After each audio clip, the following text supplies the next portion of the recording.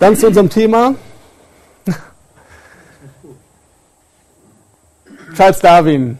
Auf die Frage kommen wir vielleicht ganz am Schluss nochmal zurück. Ich möchte einfach äh, zuerst mal Charles Darwin als Person und auch die Entstehung seiner Abstammungstheorie, seiner Selektionstheorie, Diszendenztheorie, wie er sie selbst nannte, später auch Evolutionstheorie, der Ausdruck stammt nicht von ihm selbst, wie es dazu kam.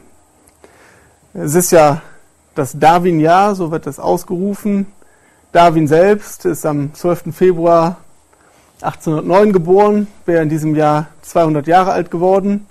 Und sein Buch, was diesen Umbruch, den Durchbruch dieser neuen Lehre bewirkt hat, das Buch über die Entstehung der Arten, das ist am 24. September 1859 erschienen, also heute vor 150 Jahren, gleich ein doppeltes Jubiläum und deshalb das Darwin-Jahr, deshalb in vielen Medien auch das Thema Darwin. So, Charles Darwin. So, das ist das Schiff, auf dem er seine bekannte Weltreise unternahm, die Beagle, ein Schiff der britischen Marine, ein Vermessungsschiff, Nussschale eigentlich 27 Meter lang, aber immerhin 65 bis 70 Mann Besatzung darauf mit dem Auftrag, die Küsten Südamerikas unten Patagonien, Feuerland, die Südspitze Südamerikas zu vermessen. Das war ein Bereich, da hatte man noch ungenaue Seekarten. Und es war eigentlich ein Vermessungsauftrag. Darwin war als Wissenschaftler, als Gast des Kapitäns dabei, weil sich eben eine unglaublich gute Möglichkeit anbot, diese Reise auch zu nutzen, um eine ganz neue Fauna und Flora zu beschreiben, zu untersuchen. Darwin verstand sich selbst erst eher als Geologe. Er hatte eine besondere Vorliebe für die Geologie, war fasziniert von den Küstenstrukturen. Er hatte seine Bibel mit an Bord. Darwin hatte, bevor er zu dieser Reise auftrat, einige Jahre Theologie studiert, war also ein ausgebildeter Theologe, ein Bachelor der Theologie. Und trotzdem war er kein Gläubiger. Er hatte eine starke Skepsis, wenn er auch formal doch dachte, dass die Bibel im Wesentlichen historisch und so weiter gültig ist. Zu dem Zeitpunkt dachte er das noch. So hatte er doch äh, keine persönliche Beziehung zu Jesus Christus. Sein Vater war ein Freidenker, der das auch sehr offen aussprach, was damals in England gar nicht so ohne war, in dieser Zeit, wo es eigentlich nicht zum, zum guten Ton gehörte, das kirchliche System doch aktiv mitzutragen, jedenfalls als Mitglied der Oberschicht. Sein Großvater genauso, sein älterer Bruder, ein ganz offener Rebell gegen alles, was er als christliches Dogma verstand. Also er stand schon unter Einflüssen von Leuten, die das sehr offen in Frage stellten, aber kannte auch das Gegenteil. Seine Mutter war eine gläubige Frau, starb leider schon, als er acht Jahre alt war. Hier sehen wir mal die Reiseroute von England nach Südamerika, wo sie die meiste Zeit verbracht haben und dann als Weltumsegelung zurück. Was besonders ist auf dieser Route, dass sie besonders viele kleine Inseln besuchten, die auf dem Weg lagen. Und wenn man sich das in der Biologie anschaut, dann sind Inseln, die weit entfernt vom Festland sind, die eine isolierte Tier- und Pflanzenwelt haben, die nicht in Kontakt im Austausch mit anderen Populationen stehen, besonders interessante Forschungsfelder für Biologen. Und viele Erfahrungen, die er da gemacht hat, haben ihm Impulse gegeben zur Ausarbeitung seiner Theorie. Darwin war ein sehr exakt arbeitender Wissenschaftler, das muss man immer wieder herausstellen. Er war nicht jemand, der äh, fantasiert hat. Hier sehen wir eine Abbildung aus einem seiner Bücher. Das sind alles verschiedene Zähnchen von Mäusen, die er da in Patagonien gesammelt hat, Feldmäuse. Die sehen äußerlich alle ganz gleich aus. Ja, wir würden die vielleicht als nicht geübte Zoologen überhaupt nicht unterscheiden können. Und er hat die aber alle eingefangen, präpariert und dann diese Zähnchen mit einer Sorgfalt gezeichnet. Man kann also tatsächlich jede Säugeart an den Zähnen unterscheiden. Keine zwei verschiedenen Arten haben das gleiche Zahnbild. Das gilt im Prinzip für fast jedes Organ, dass bei ausreichender Detailkenntnis jede Tierart eindeutig unterschieden werden kann. Das ist faszinierend, wie die Schöpfung im Detail solche Unterschiede aufweist. Und er hat das erkannt, hat die benannt, gezeichnet. Nur mal als Beispiel dafür, wie er detailversessen exakt Taxonomie betrieben hat, diese Unterschiede erkannt hat. Dann hatte er auch noch großes Glück bei seiner Arbeit. Direkt auf dem ersten größeren Landgang hat er ein ausgestorbenes Riesenfaultier, Skelett entdeckt und ausgegraben, auch gezeichnet. Er hatte damals auch schon die Möglichkeiten, Fotos zu machen, aber eine Zeichnung drückt immer mehr aus, ist mehr wert, lässt mehr Detail erkennen. Also die meisten Sachen selbst gezeichnet, auch zeichnen lassen. Ja, was er bei diesen exakten und genauen Untersuchungen der Tier- und Pflanzenformen entdeckt hat, ist natürlich, dass viele dieser fossilen Formen ganz anders aussehen als die heute lebenden. Diese Erkenntnis war neu. Fossilien waren damals noch etwas, was ganz neu im Kommen war. Das, es gibt überhaupt erst größere Fossilienfunde, seit im größeren Maß die Erde aufgebrochen wird, sei es durch Straßen, Eisenbahnbau, Kohleförderung. Also erst mit der Industrialisierung begann überhaupt der Mensch, die Erdschichten so tief aufzubrechen, dass äh, Fossilien aus tiefer liegenden Schichten erstmalig ans Tageslicht kamen. Davor waren praktisch nur fossile Muscheln, Ammoniten und so weiter bekannt. Und dann gab es die ersten Funde versteinerter Säugetiere, Dinosaurier, die dann zu der Frage führten, was ist mit diesen Tieren? Warum sind sie hier in Stein? Wo kommen sie her? Warum gibt es sie heute nicht mehr? Haben sie sich verändert? Sind sie ausgestorben? Was hat dazu geführt? Und so weiter. Hier ist Charles mit seiner Frau Emma. Kurz nach seiner Rückkehr nach England hat er geheiratet. Seine Cousine Emma Wedgwood. Eine gläubige Frau. Hier sehen wir mal die Biografie von Charles Darwin im Überblick. Sein Medizinstudium hat er abgebrochen nach drei Jahren, weil er gemerkt hat, dass die Medizin doch das ist, was er nicht verträgt. Diese damals noch sehr rabiaten Methoden der Operation. Ihm wurde da vom Ansehen, vom Zusehen schlecht und er hat gesehen, dass er das nicht durchsteht und hat deshalb dann Theologie studiert. Dann kam die Weltreise mit der Beagle.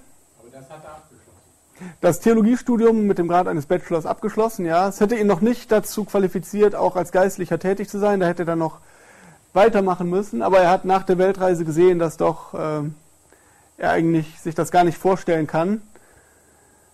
Er hat dann als Privatier gelebt, also von den Einkünften, die seine Frau mit in die Ehe brachte, die er auch von seinem Vater bekam, konnte er es sich leisten, nicht einer Erwerbsarbeit nachgehen zu müssen. Er hat dann als privater Forscher gearbeitet. Sie haben zehn Kinder bekommen, Charles und Emma. Drei von denen sind früh gestorben. Dann ist dieses hier das Erscheinungsjahr des Buchs zur Entstehung der Arten. Später dann noch das wichtige Buch zur Entstehung des Menschen, Abstammung des Menschen. Und seine Autobiografie, wo er dann auch die Karten wirklich aufdeckt und beschreibt, wie er den Glauben schon ziemlich früh verloren hat und darin dann immer weiter bestärkt worden ist, dass am Ende die biblische Offenbarung vollständig zurückzuweisen. Das war so offen, dass seine Frau die stark äh, rezensiert hat. Die ist also in einer arg gekürzten Fassung dann erschienen. Und erst 1960 irgendwann ist die ganze ungekürzte Ausgabe erschienen, wo er das also auch so deutlich schreibt. Welchen Zusammenhang er auch gesehen hat für sich zwischen dem, was er entdeckt hat in der Wissenschaft und dem Glauben, dass dieser Widerspruch ihn dazu geführt hat, das abzulehnen. Das ist heute interessant, weil man heute sehr viele Pastoren und Theologen hört, die sagen, das ist überhaupt kein Problem. Evolution und Glauben, die tun sich nichts, die können ganz gut koexistieren. Darwin jedenfalls hat es völlig anders gesehen. Zu seiner Zeit hat er gesagt, dass für ihn dieser Widerspruch unauflösbar ist und dass für ihn die Entdeckungen, die er gemacht hat, dazu führen, dass er die biblische Offenbarung und er hat gesehen, dass sie zusammenhängt. Ja. Er hat das auch als ein Ganzes betrachtet und gesagt, wenn das eine nicht stimmt, dann stimmt das, was darauf aufbaut, auch nicht. Das ist hier so ein Bild aus einem Film, der vor kurzem gedreht worden ist. Der heißt Creation und ist eine Biografie über Charles Darwin. Das ist auch so eine kleine Spitze, ja. Der Titel ist Schöpfung, aber es geht um Charles Darwin. Der hat bisher in den USA noch keinen noch keine Kinos gefunden, die den zeigen wollen. Das ist ganz interessant.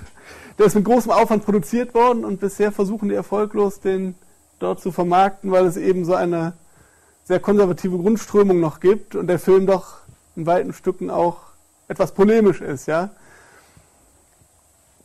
Vielleicht kommt er ja irgendwann auch in Deutsch, würde mich sehr interessieren. Die Darwins zogen dann kurz nach der Hochzeit um in ein Haus, Downhouse, etwas außerhalb von London. Das sollte zum Weltkulturerbe erklärt werden. Das ist dann erstmal abgelehnt worden. Ich weiß nicht, wie der Stand jetzt ist. Ist jedenfalls alles so belassen worden, wie das zu Lebzeiten Darwins war. Sein Studierzimmer, seine Gewächshäuser. Dort hat er dann zurückgezogen gelebt. Er mied jeden Kontakt zur Öffentlichkeit, hat aber über seine Korrespondenz, die etwa 14.000 Briefe umfasst, in Kontakt mit vielen anderen Gelehrten seiner Zeit gestanden und sich den verschiedensten Fragen zugewandt. Es ist interessant, wenn man das mal betrachtet, was für ein vielfältiger Wissenschaftler Darwin war, wie viele ganz unterschiedliche Bereiche. Er hat die Pflanzen untersucht, sich lange mit Orchideen beschäftigt. Er hat den Regenwurm über Jahre beobachtet und äh, Aufzeichnungen dazu gemacht. Fast alle Säugerarten, Reptilien, Vogelarten, die ihm auf der Reise begegnen äh, sollten, hat er erfasst, gezeichnet, beschrieben. Das erste größere Werk, was er rausbrachte, war ein, eine Monographie, vier Bände über die Cerapedien, die Rankenfußkrebse. Wenn man das so sieht, diese ganzen Abbildungstafeln, da kann man sich das Gähnen nicht verkneifen. Das sind alles solche Bilder, aber wirklich haufenweise. Und das diese vier Bände, das sind Bände zu 500 Seiten. Zwei Bände beziehen sich auf die lebenden Arten, zwei Bände auf die fossilen. Er hat also ein Thema wirklich mal komplett erschlossen und sich damit aber einen Ruf erworben als ein Taxonom, der nicht so schnell aufgibt. Zehn Jahre zu arbeiten an diesem Werk, was diese Tiere sind, ähm, man möchte fast sagen, äh, bedeutungslos, das Ökosystem natürlich nicht, aber für den Menschen wen interessieren Rankenfußkrebs? Aber er hat sich einfach dieses Thema vorgenommen und das durchgezogen. Zehn Jahre lang. Ähm, ich habe gleich mal eine Abbildung. Dann werdet ihr alle sehen, dass ihr die Rankenfußkrebse kennt. Wenn ihr Borkum-Fahrer seid, wie ich hier zum größten Teil höre, die sitzen überall auf den. Ich habe hier ein Foto aus Holland vor zwei Jahren, ja. Die haben einen weißen Überzug und man denkt, das sind Muscheln, aber es sind Krebse, sessile Krebse, also die sind nicht beweglich, die haben sich da fest angesetzt. Seepocken ist eine andere Bezeichnung dafür, genau. Rankenfußkrebse, Cerapedia ist die wissenschaftliche Bezeichnung. Seepocken ist so der landläufige Name dafür.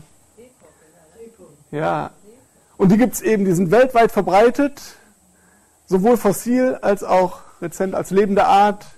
Und er hat sich die von überall her schicken lassen und die exakt die Unterschiede verglichen. Und dabei aber auch immer wieder die Entdeckung gemacht, erstens, es gibt überall Unterschiede. Die aus Neuseeland sind anders als die aus Australien, die sind völlig anders als die aus Südafrika. Wie kommt das? Warum ist die gleiche Art, sollte der Schöpfer die in Südafrika hingesetzt haben, ein bisschen anders als die? Wie kommen diese Unterschiede? Warum sind die Fossilen etwas anders? Warum sind die Fossilen aus der Schicht anders als aus der? Der hatte diese ganze Thematik bei der Beschäftigung mit so einer Art wirklich mal erfassen können, ja, weil er sich einen Überblick verschafft hat, global und zeitlich ein Querschnitt, dafür war das sehr gut, eine gute Grundvoraussetzung, sich mal eine Art vorzunehmen und nur hier zu sehen, wie groß ist diese Variation.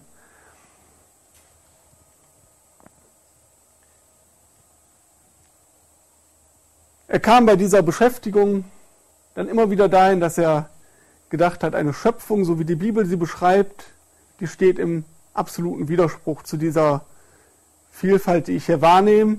Es muss anders gewesen sein. Es muss eine Entwicklung da gewesen sein. Diese Lehre von der Konstanz der Arten, wo wir gleich noch drauf kommen, wie er das im Theologiestudium vermittelt bekommen hat.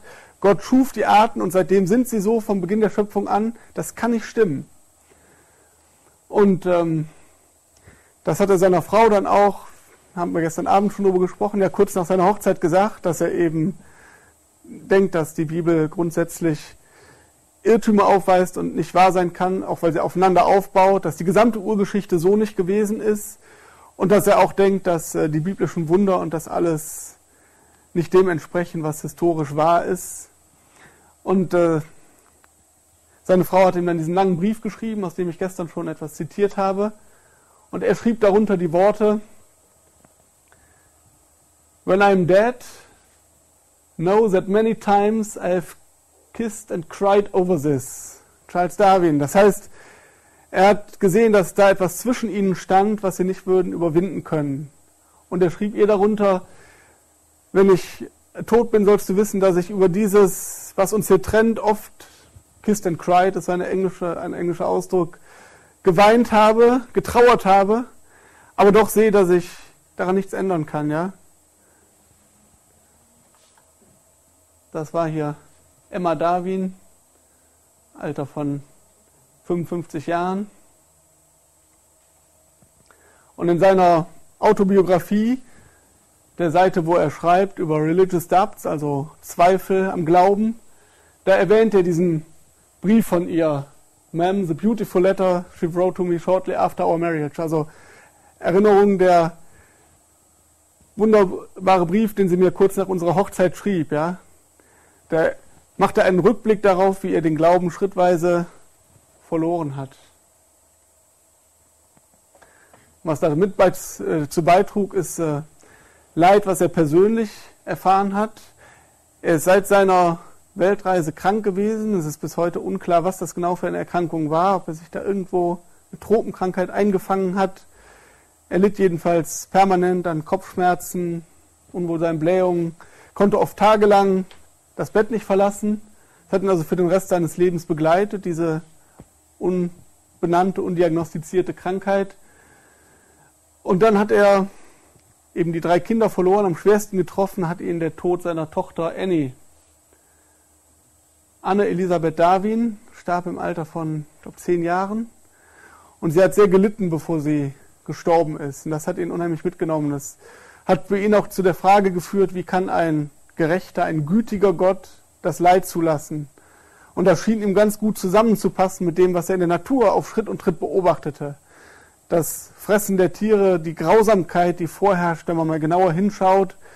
Er war als junger Mann beeindruckt davon, wie der Theologe Paley das beschrieben hat, dass die ganze Welt Gottes Frieden atmet.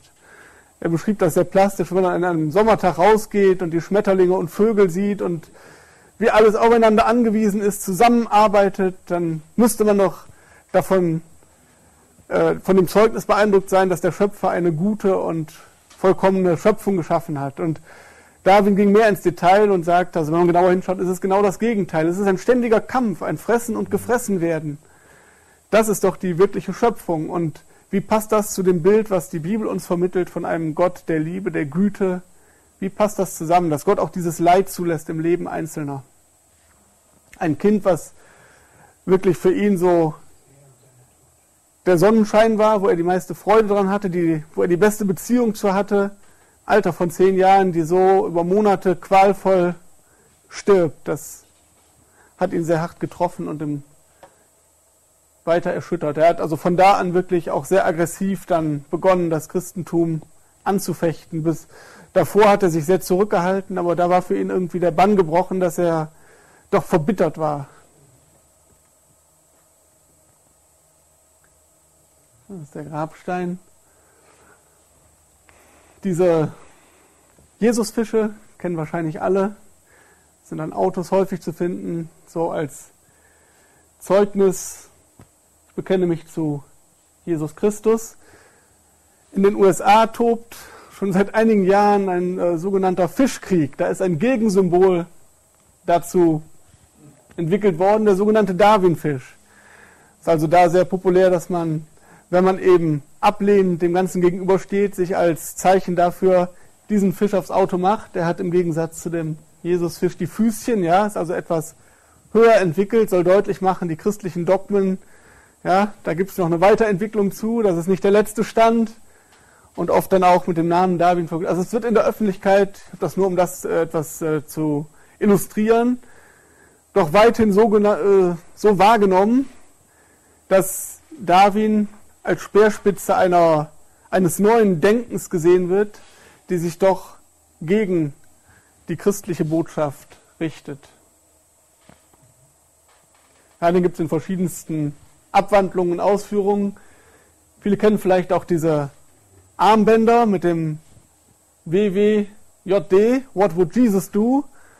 Und als Gegenstück, als Spitze dagegen gibt es hier diese Sticker und Aufkleber und Fische mit dem What would Darwin do? Eben die Frage, ähm, was würde Darwin jetzt antworten? Er würde sagen, Natural Selection ist alles ein natürlicher Prozess, der Beste überlebt. Es gibt keine anderen Antworten. Wenn du dich auf einen Jesus, auf etwas äh, Transzendentes verlässt, dann bist du ein armer Kerl. Du musst wissen, die Realität ist Natural Selection. Es gibt nur die natürlichen Abläufe und Prinzipien, nichts darüber hinaus. Du solltest dich lieber fragen, was würde Darwin tun, was würde er dir antworten, so dass der Naturalismus eben. Ja, dann gibt es hier die verschiedensten, die da noch weitergehen und diesen, diesen Kampf da illustrieren, ja. Die Aufforderung Evolve, ja, entwickel dich weiter mit dem Werkzeug in der Hand oder I support science, ich befürworte, unterstütze die Wissenschaft. Das ist hier eine Karikatur, die spielt an. Left Behind ist der Titel eines amerikanischen Films, wo es um die Entrückung geht. In dem Film Left Behind sind die, die zurückbleiben, die unerlösten Menschen. Und hier wird es genau andersrum gedreht. Die Zurückgebliebenen sind die, die sich nicht weiterentwickelt haben. Dann gibt es natürlich auch, wie immer, die Bemühung, das positiv darzustellen. Es ist kein Gegensatz, ja. Vertragt euch, findet das Gemeinsame. Thank God for Evolution heißt dieser Homepage. Eben theistische Evolution. Die Vorstellung, dass alles, was die Wissenschaft über Evolution sagt, wahr ist, dass wir es eben so betrachten können, dass Gott als Schöpfer derjenige ist, der Evolution als Schöpfungsmethode verwendet. Der also im Hintergrund trotzdem die Fäden zieht, der sich nicht sehen lässt, aber doch Evolution benutzt, um zu seinem Ziel zu kommen. Gut, dann gibt es natürlich auch da den, die Replik, ja. Was mir ganz gut gefiel, ist der hier. Der trägt die Beschriftung Legs that mock, have knees that will bow. Das heißt, die Füßchen, die verspotten sollen, haben doch Knie, die sich beugen werden. Denn in dem Namen wird Jesu wird jedes Knie sich beugen einmal. Das heißt, dass äh, am Ende doch erkannt werden muss, dass die Bibel, dass Gottes Offenbarung die Wahrheit war. Ja, hier ist ein ganz anderer Fisch, der Blobfisch. Erst vor 25 Jahren entdeckt worden, diese Art. Unglaublich hässlich. Blobfisch. Egal wie man den abgebildet sieht, der bleibt hässlich. Ja. Ich denke, es ist ein guter Speisefisch, ja, soweit ich gehört habe. Ich habe ihn noch nicht probiert. Der äh, ist ein atlantischer Fisch, ich glaube, im offenen Meer lebt er. Ist kein Küstenbewohner. Ich wollte ihn einfach, um mal zu sprechen zu kommen auf die Vielfalt der Arten, ja. Wenn wir jetzt darauf kommen, was, was ist die Lehre Darwins? Was lehrte Darwin? Wie gesagt, er hat gelehrt bekommen in seinem Theologiestudium, was damals Standard war, Konstanz der Arten. Es ist Sünde zu denken, dass Arten veränderlich sind, denn wir lesen in der Bibel, Gott schuf die Tiere nach ihrer Art, also müssen wir davon ausgehen, die Arten, so wie wir sie heute vorfinden, sind von Gott geschaffen worden. Gut, dass das nicht wahr sein konnte, hatten schon viele Zeitgenossen Darwins begriffen. Die Züchter wiesen selbst nach mit dem, was sie taten, dass sie Arten sehr wohl verändern konnten, und zwar in gewaltigem Ausmaß. Darwin kannte das zum Beispiel von Taubenzüchtern. Er hat sich sehr intensiv mit der Felstaube und der Ringeltaube beschäftigt und konnte sehen, wie Züchter in wenigen Generationen, in wenigen Jahrzehnten da Kreaturen erschaffen, die keine äußere Ähnlichkeit mehr hatten, fast mit ihrem Ausgangsprodukt, die Körperanhänge hatten von gigantischem Ausmaß und so weiter. Er hatte einen Eindruck davon bekommen, was durch menschliche Zucht möglich ist. Und was lag jetzt näher als der Gedanke, dass genau das, was ein Züchter tut, geplant, gezielt, willentlich mit seinen Zuchtobjekten, dass das in der Natur ständig und überall stattfindet. Soweit war das konsequent. Er hat dann ja, wie gesagt, auf seiner Weltreise sehr viele Inseln besucht. Lange haben sie sich bei den Galapagos-Inseln aufgehalten, die eine ganz einzigartige Tier- und Pflanzenwelt aufweisen. Und wenn man heute von Darwin liest, dann fast dann sehr häufig im Zusammenhang mit den Galapagos oder Darwin-Finken. Die haben zu der Zeit, als er die Selektionstheorie ausgearbeitet hat, noch gar keine Rolle gespielt. Er hat erst hinterher, ist erst hinterher darauf aufmerksam gemacht worden, dass die Tiere unterschiedlich sind und konnte auch nicht mehr klar sagen, welche von welcher Insel kamen. Aber heute gelten sie als das Paradebeispiel für beobachtbare und schnell ablaufende Evolution. Halt eine Finkenpopulation, die sehr unterschiedliche Schnabelformen aufweist, offensichtlich geeignet für verschiedene Nahrungsquellen. Diese Skizze ist das erste, was wir in Darwins schriftlichem äh, Nachlass finden, wo diese Abstammungstheorie mal so skizziert ist. Aber es ist nicht so, dass für Darwin dieser Gedanke völlig neu war. Schon sein Großvater Erasmus Darwin war wie sein Vater ein Arzt, aber auch ein, ein Wissenschaftler, hatte die Idee gehabt, dass alle Leben alle, Leben, alle Lebewesen von äh, niederen Formen, er dachte dabei an einfache Muscheln, abstammen, hatte das ausführlich beschrieben in einem Buch, Zoonomia ist der Titel. Und ähm, das war praktisch schon eine Kurzfassung der Selektionstheorie. Er hatte allerdings noch keine Ahnung, wie es zu diesen Veränderungen kam. Er hat das einfach als Theorie, als Spekulation mal formuliert.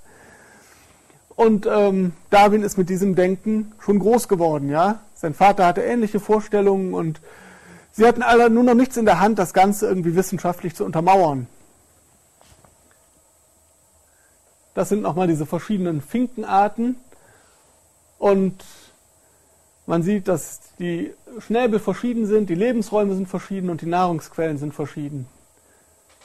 Und Darwin fragte sich, jetzt hat Gott die verschiedenen Finken alle hier auf der Insel und nur hier geschaffen, nirgendwo sonst in der Welt? Oder könnte es nicht doch sein, dass ein Fink irgendwann hierhin verschlagen wurde auf die Insel und alle Finken von diesem Gründer abstammen und sich nur an verschiedene Lebenssituationen angepasst haben? Und tatsächlich ist das ein Beispiel, was heute auch auf der Ebene der Gene, der Molekularbiologie gut untersucht ist, dass man sehen kann, dass es da eine Form gibt, die optimiert ist für Körner, für Samen und dass alle anderen Schnäbel genetisch davon abgeleitet werden können durch Verlust oder Verdoppelung von Genen, die dieser Vorfahr alle besessen hat. Man kann also mittels dieser molekularbiologischen Daten nachvollziehen, wie sich da eine Gruppe von Finken auseinanderentwickelt hat.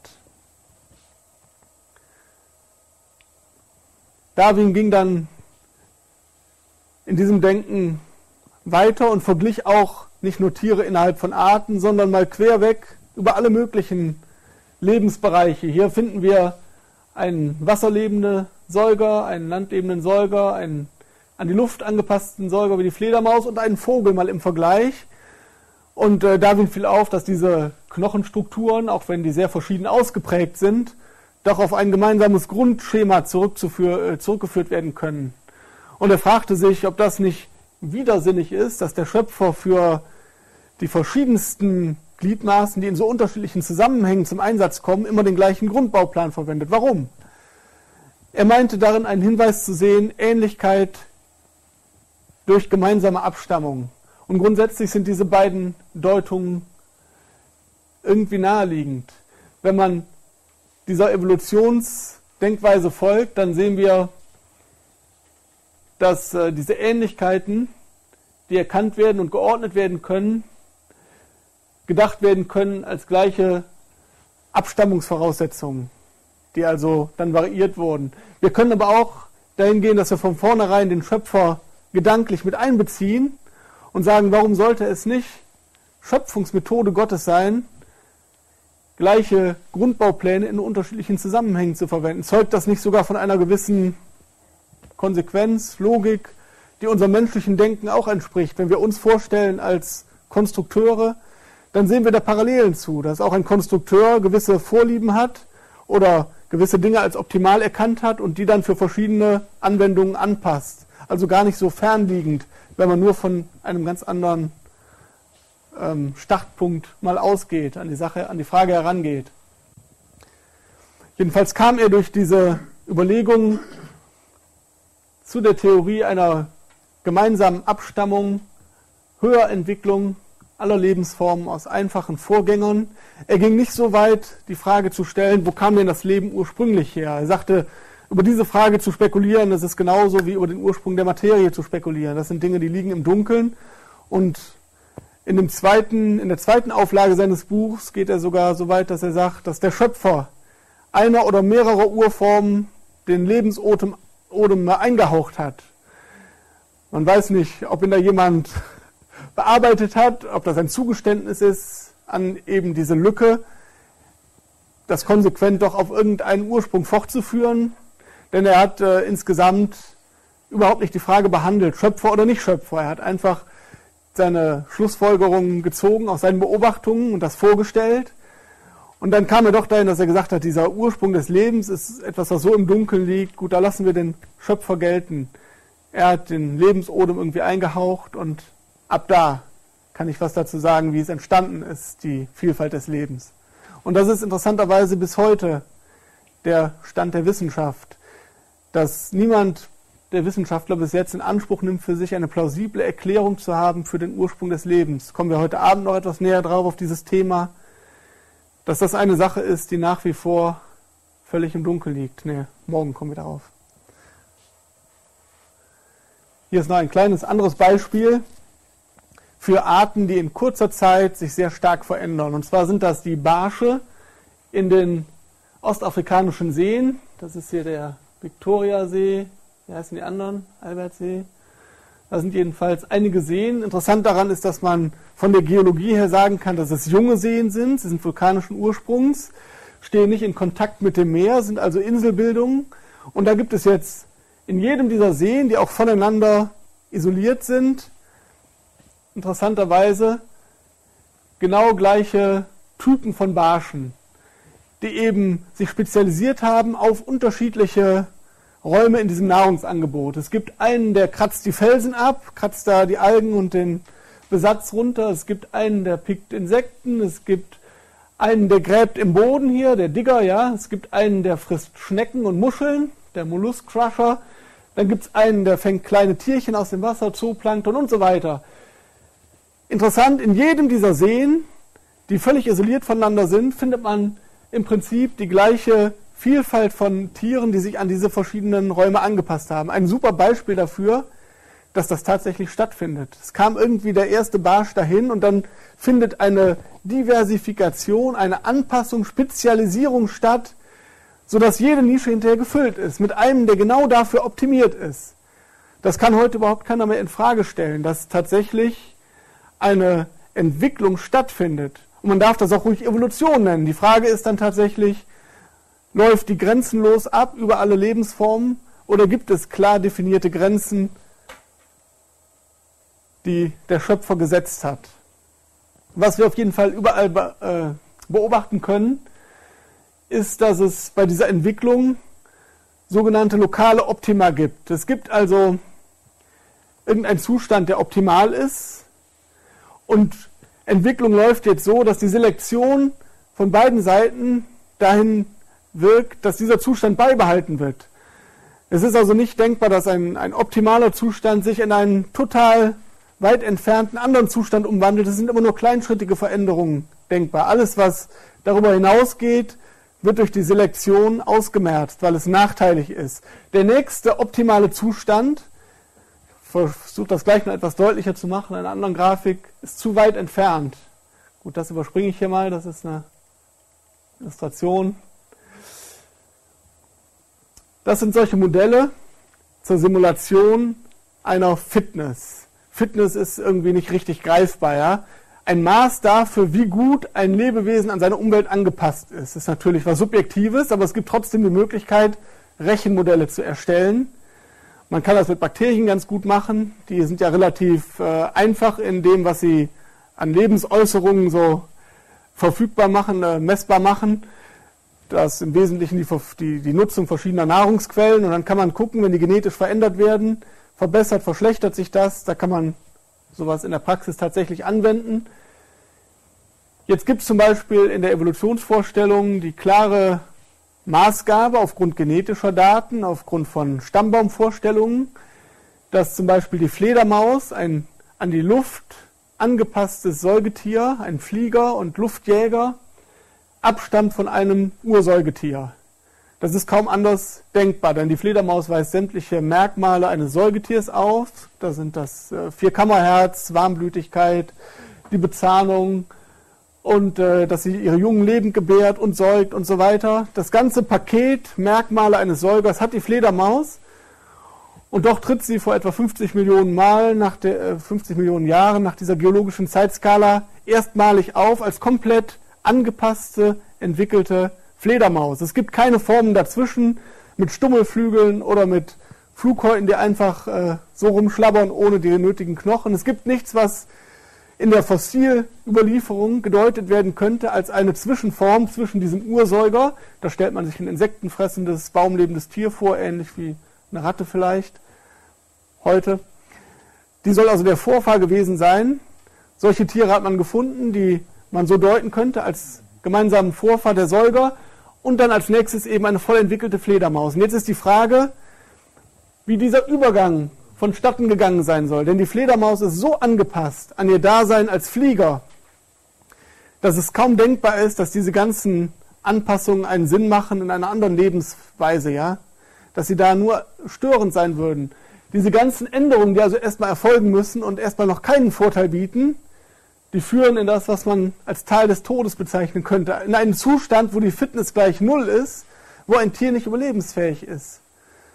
Und diese Problematik macht größere Veränderungen, jedenfalls von der Wahrscheinlichkeit und äh, mathematischen Seite her, undenkbar.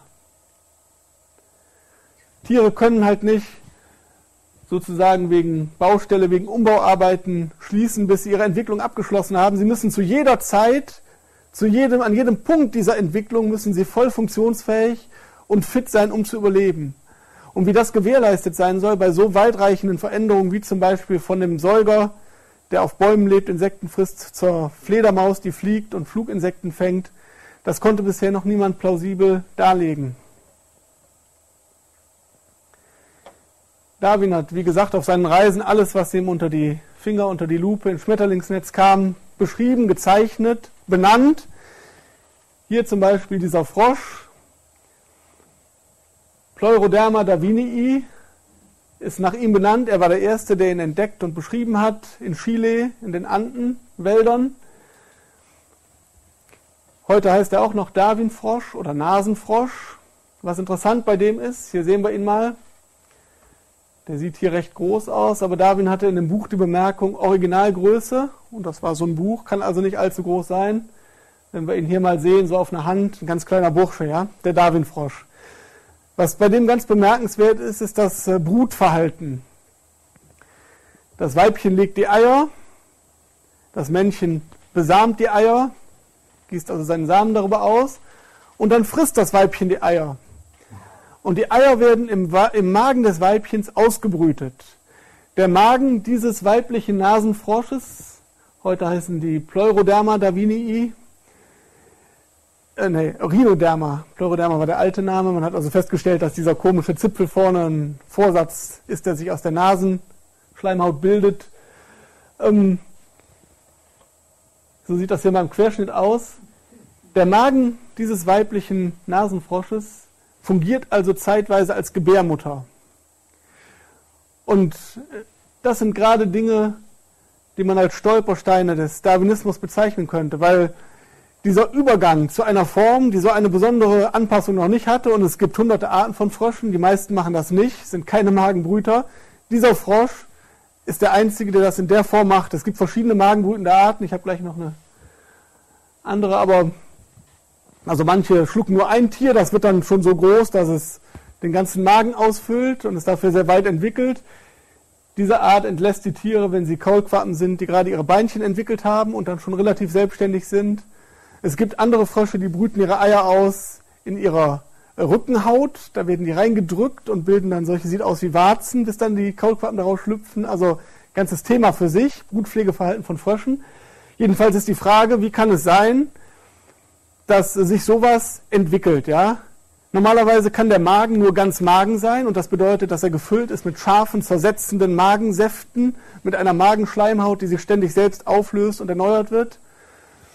Oder er kann nur ganz Gebärmutter sein, ausgekleidet mit einer weichen Gebärmutterschleimhaut, temperiert, versorgt, ohne Magensäfte. Und in der Zeit darf der Frosch auch nichts fressen. Das muss also alles absolut getimt sein. Wenn das Weibchen sich nicht vorher durch seine Instinkte geleitet einen Vorrat anfressen würde, würde es diese Fastenzeit nicht überleben. Wenn es nicht äh, wenn nicht die Umstellung stattgefunden hätte zu dem Zeitpunkt, wenn es die Eier schluckt, dann würden die Eier verdaut werden, wie alles andere, was der Frosch schluckt. Also eine Sache, die ein Hochmaß an Planung, Timing, genetischen Voraussetzungen erfordert. Und wie sowas schrittweise abgelaufen sein soll, das ist eben überhaupt nicht denkbar. Es sind keine Vorstufen zu konstruieren. Hier ist mal diese andere Art, ja, die brütet die Kleinen aus, bis sie schon so große Frösche sind und kann dann nur einen immer nacheinander aufnehmen hat den Vorteil, dass der schon so fit ist, dass er seinen Feinden schon davon hüppeln kann. Da haben wir noch ein anderes Beispiel aus der Pflanzenwelt. Es gibt Pflanzen, die ihre Wurzeln nicht in den Boden schlagen, sogenannte Epiphyten, im Regenwald sehr häufig, also Pflanzen, die auf anderen Pflanzen meistens aufwachsen. Die haben natürlich ein Problem, sie erreichen mit ihren Wurzeln eben nicht den Boden, können keine Nährstoffe, Mineralien aus, aus dem Boden aufnehmen Manchen reicht das, was sie übers Wasser bekommen, aber größere Pflanzen, denen reicht das nicht. Einige davon sind dann parasitisch, zapfen ihre Wirtspflanze an, aber es gibt auch andere Lösungen. Das hier sind Zeichnungen einer Pflanze, die Ameisenpflanze genannt wird. Ein Epiphyt, der auf anderen Pflanzen aufwächst, aber eben nicht parasitisch, sondern der benutzt sie nur, um Halt zu finden. Hat eine, sie hat eine andere Methode, sich die Mineralien zu verschaffen. Hier sehen wir das nochmal. Und zwar bietet sie in der Knolle, die da unten zu sehen ist, ein perfekt eingerichtetes Eigenheim für Ameisen an. Was wir hier sehen, diese ganze Struktur, die dem Aufbau eines typischen Ameisennestes entspricht, also verschiedene Kammern, Gänge und so weiter, was die Ameisen so brauchen, das haben nicht die Ameisen gemacht, sondern das bildet die Pflanze vollkommen fertig und wartet dann nur noch darauf, entdeckt und bezogen zu werden. Das ist also irgendein Ameisenspeer, der entdeckt diese Knolle und meldet das und dann zieht da ein ganzes Ameisenvolk rein. Eine Symbiose, wo beide Partner vollständig darauf angewiesen sind. Sogenannte obligate Symbionten. Das heißt, es geht für sie nicht anders. Die Ameisen haben überhaupt keine Ahnung, wie bauen wir selber ein Nest. Die wissen nur, wir müssen irgendwo eine Ameisenpflanze finden, da können wir dann einziehen. Und die Ameisenpflanze, die geht nach kurzer Zeit ein, wenn keine Ameisen darin siedeln und sie mit Nährstoffen versorgen. Zwei Partner aus ganz verschiedenen Lebensbereichen ein Insekt und eine Pflanze, die aber zusammengehören und alleine nicht existieren können. Wie kam es dazu? Wie fand so eine, es gibt das schöne Schlagwort der ähm, Synchronevolution, ja, aber wie das in der Praxis ausgesehen haben mag, das ist wirklich ein großes Rätsel und auch im Modell bisher nicht erfassbar. Hier sehen wir das, ja, diese ganzen die Pflanze will eigentlich nur den Kot der Ameisen. Die richten eine Abfallkammer ein, da kommen die Gefallenen rein und die Exkremente und die Nahrungsreste und was die sonst an Müll haben. Und das reicht der Pflanze schon aus für die nötigen Nährstoffe. Ansonsten bietet sie den Ameisen den Schutz und die verteidigen sie auch noch netterweise gegen Fressfeinde. Im eigenen Interesse natürlich, aber eben eine Symbiose bedeutet, dass beide Partner maximal profitieren.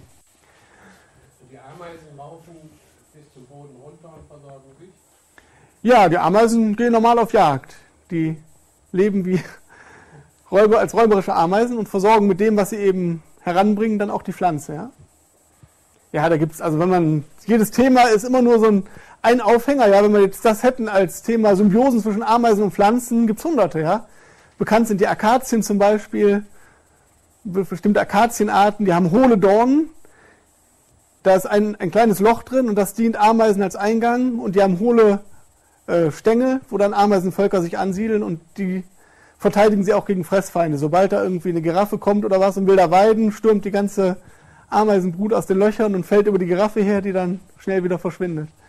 Also, ist immer das Verrückte. Wenn man irgendein Thema mal anfängt, dann sieht man, da steckt ein ganzer, ganzes Universum hinter, hinter diesem einen Schlagwort. Ja, es ist so vielfältig ja, wenn wir uns fragen, wie kann das denn schöpfungsmäßig gedacht werden? Ja, wenn wir jetzt mal davon ausgehen, stimmt, was in der Bibel steht, Gott schuf die Tiere nach ihrer Art, dann kommen wir dahin, dass diese Artvorstellung tatsächlich mehr umfasst als das, was wir heute Biospezies nennen, biologische Arten.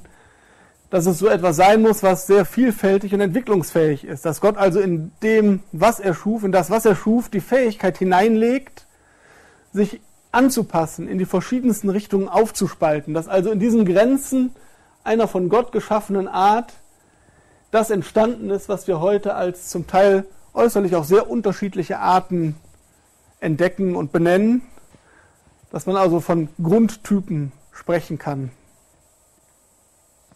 Und der Unterschied zu dem Evolutionsmodell ist, dass hier davon ausgegangen wird, es begann mit sehr einfachen Formen, mit sehr wenig Information und dann wurde eben durch Mutation, wurde das mehr und hat sich dann aufgespalten. Es kam immer mehr hinzu, es wurden neue Eigenschaften erworben und bei der Schöpfung gehen wir davon aus, bezogen auf eine Art, nicht auf die gesamte Tierwelt, dass Gott Arten mit einer riesen Informationsfülle geschaffen hat, die dann in verschiedenen Umwelten und Lebenssituationen sich aufgespalten haben, was aber eine Verarmung bedeutet, wo also auf Kosten dieser genetischen Vielfalt reduziert wird unter einem Anpassungsdruck.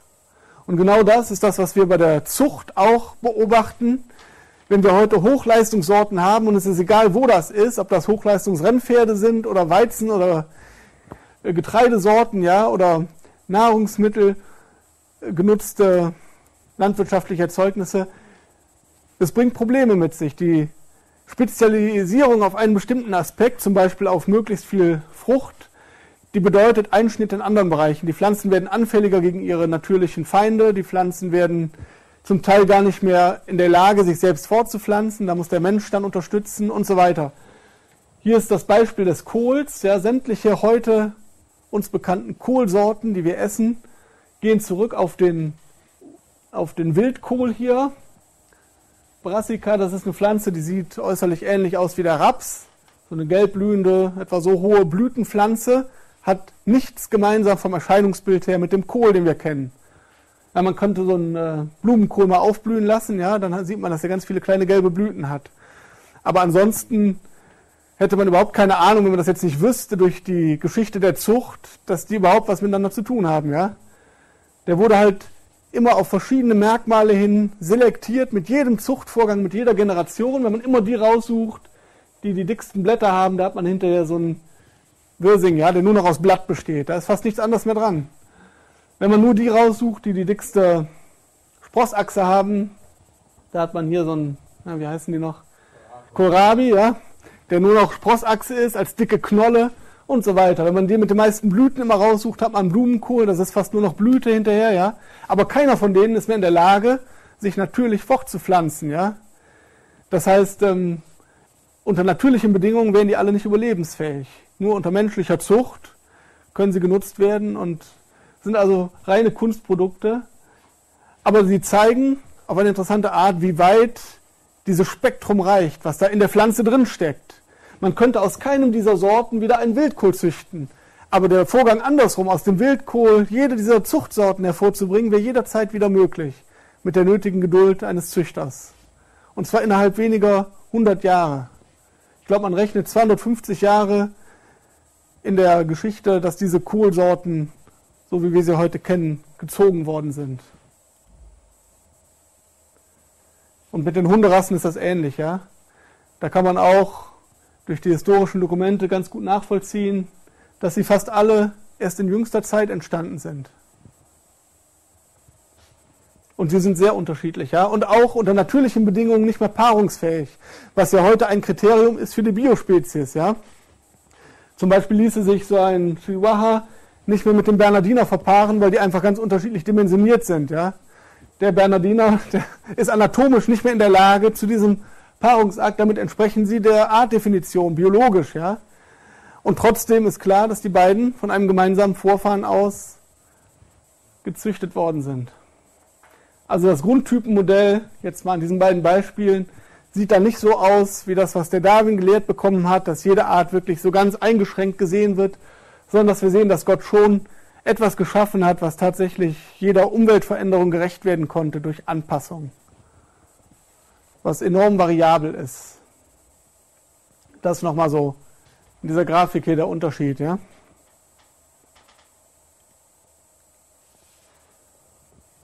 Und trotzdem ist nötig, um das festzuhalten, wie wir heute Morgen gehört haben, der Glaube, dass wir Gott darin vertrauen. Man kann natürlich auch sagen, also gut, wir haben heute noch viele Fragen und wir werden noch Antworten finden. Die Forschung geht weiter und irgendwann haben wir es geknackt und uns immer darauf verlassen, dass irgendwann ein Fortschritt das, was heute noch offen ist, erklärbar macht. Aber man kann auch vertrauen, dass das, was Gott uns offenbart hat, die Wahrheit ist und wie das hier Paulus im zweiten Korintherbrief schreibt, dass wir Vernunftschlüsse zerstören, weil wir eben jeden Gedanken gefangen nehmen unter den Gehorsam des Christus.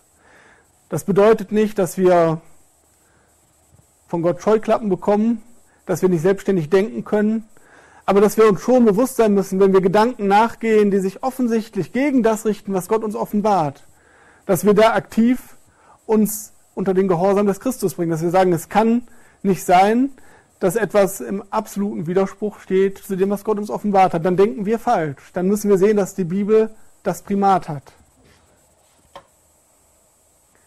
Als Darwin diese Lehre vor 150 Jahren so vorgestellt hat, da gab es viele Faktoren, die das begünstigt haben. Da gab es eine, einmal die Sache, dass eine Zeit da war, wo sehr viele Entdeckungen ganz neu waren, wo überhaupt die Wissenschaft erst so richtig zu leben begann. Das hat dem Ganzen Auftrieb gegeben. Und außerdem war das auch gesellschaftlich sehr gern gesehen, die Vorstellung, dass es eine Höherentwicklung hat, die man auch auf den, auf den Menschen anwenden konnte, dass auch nicht alle Menschen gleich entwickelt waren, dass also die zivilisierteren westlichen Nationen, die damals die ganze Welt in Kolonien aufgeteilt und sich untergeordnet haben, dass sie irgendwie im Recht waren. Dass das ein ganz natürlicher Vorgang war, dass überall in der Natur sich der Stärkere durchsetzt und dass da überhaupt nichts dran kritisch zu sehen war, dass jetzt die Völker, die am erfolgreichsten sind, auch die ganze Erde unter ihre Kontrolle bringen. Das passte sehr gut in das vorherrschende Denken hinein. Nun fehlte Darwin zur Entwicklung seiner Theorie noch sehr vieles, was heute zur Verfügung steht an Wissen über die Natur. Am hervorstechendsten ist die Kenntnis der Genetik. Darwin hatte noch überhaupt keine Vorstellung davon, was Vererbung bedeutet, wie das von sich geht, wie diese Information, diese Veränderung, was das auf der Grundlage der Moleküle für eine Basis hat. Das war für ihn ein absolutes Rätsel. Die Biochemie, die Molekularbiologie Zytologie ist die Lehre von Geweben und Zellen, wie sie sich differenzieren und ausbilden. Embryologie, die Entwicklung vom Embryo zum ausgewachsenen adulten Tier.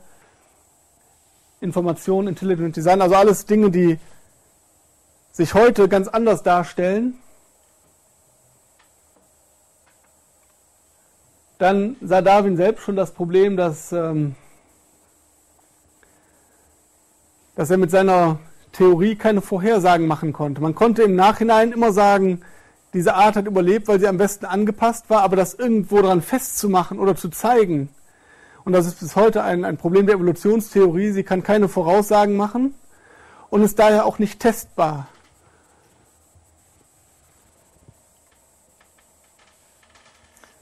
Das, was in der Genetik dann herausgefunden wurde, zog eigentlich der Theorie Darwins den Boden unter den Füßen weg. Darwin hatte bei dieser Frage lange mit sich gerungen, wie ist das denn denkbar, dass sich so eine Veränderung von Generation zu Generation durchsetzt und zeigt und dass sie fixiert wird, dass sie also nicht verloren geht.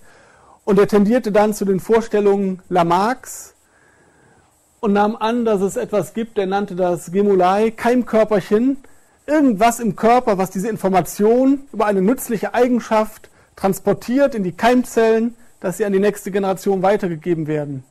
Und das ist völliger Unsinn. Das war eine Vorstellung, die lag nahe und die ist verständlich, denn irgendwie muss es ja gegangen sein. Aber sowas gibt es nicht. Es gibt, Heckel nannte die Plastidule, Darwin nannte sie Gemolar, aber es gibt überhaupt keine Möglichkeit, bestehendes Erbmaterial durch Erfahrungen, die man während seines Lebens sammelt, zu verändern. Es funktioniert anders.